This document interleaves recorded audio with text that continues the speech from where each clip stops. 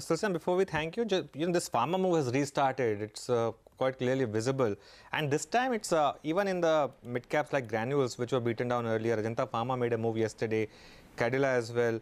Uh, your preference now in the in the pharma space?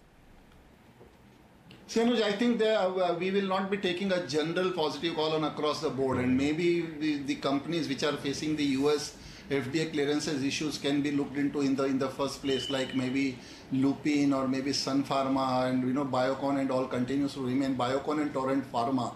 In fact, two are our prime picks, but other sto- stocks we won't be taking a call on the granules kind of stocks, but maybe the stocks like Lupin and and and, and Sun Pharma can also be looked into, and obviously or Aurobindo Pharma and Glenmark continues to remain our our, our, our, our preferred pick. So these six seven stocks makes buys on the in the pharma sector, which is quite you know which has about 40 50 stocks, but we won't be taking a general call. We will be a selective buyer in the in the in the space.